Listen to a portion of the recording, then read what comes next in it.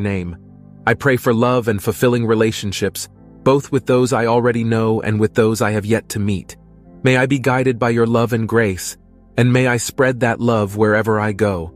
I ask for protection and guidance throughout this day,